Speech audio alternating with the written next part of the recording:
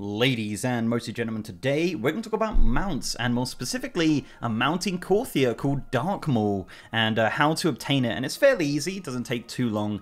Uh, so yeah, it's going to be a nice, easy mount guide for you. But before we get into that, guys, just want to shout out my Twitch, twitch.tv slash MrGM. If you want to see me streaming World of Warcraft every single day, I'm over on twitch.tv slash MrGM every single day. Right, so Dark Maul, yeah, Dark Maul. I thought this was maybe a reference to Darth Maul. You know, I love Darth Maul. He's just so, you know, horny. I kind of thought with a name like that it would be black and red, but unfortunately it's not. It's a purple variant of the new Korthia Bear. Uh, you've probably seen these around Korthia. They're pretty cool. There's, uh, you know, that's kind of the new design of creature in Korthia, and this is the purple bear mount, and it's fairly easy to get, as I mentioned before.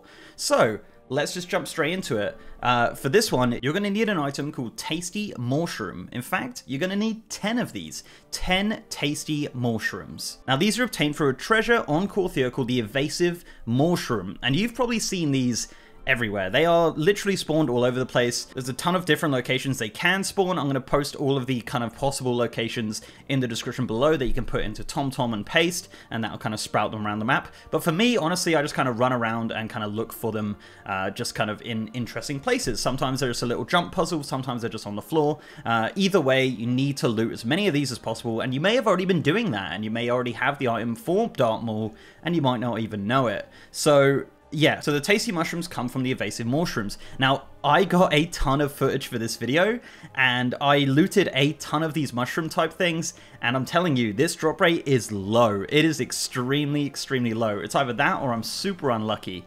Uh, but once you get 10 of these, uh, you can hand these in to Dark Maul. Now, Dark Maul was spawned here in Korthia, just kind of a neutral NPC that you can just kind of walk up to. Essentially, once you get up to him, you have to click the Tasty Mawshroom, and he'll let you ride him for two minutes. Now, it's extremely important you do ride him for the entire two minutes. If you don't ride him, apparently that doesn't count towards the mount, so you need to do this 10 times. And there's a bit of wiggle room here where you don't have to do it like every single day. You could do it all at once. It's up to you, really. Apparently, you can get up to five mushrooms per day, so the minimum amount of time to get this mount is two days.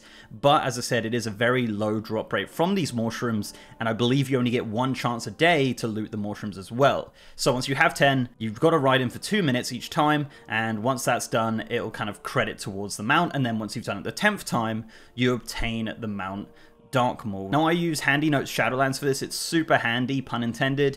Uh, essentially, it will keep a record of how many times you've done it on the map.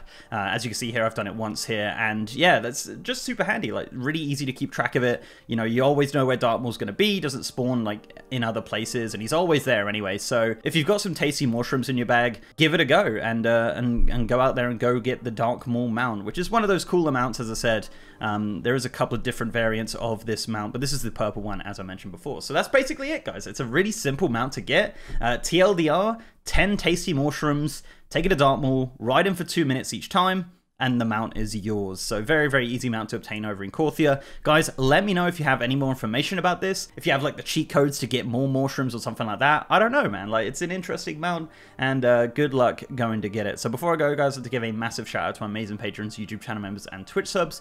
You guys are awesome. And if you'd like to support the channel in any of those ways, links are down below. So leave a like on this video, guys, if you liked it, and subscribe if you haven't. We've also got a partner Discord channel with over 3,000 members. And as I mentioned, I am now streaming on twitch.tv slash MrGM. If you want to see me streaming 9.1, Burning Crusade, Classic, uh, anything like that, any upcoming World of Warcraft as well, I'm over on twitch.tv slash MrGM every single day. And with that, guys, I'll see you next time.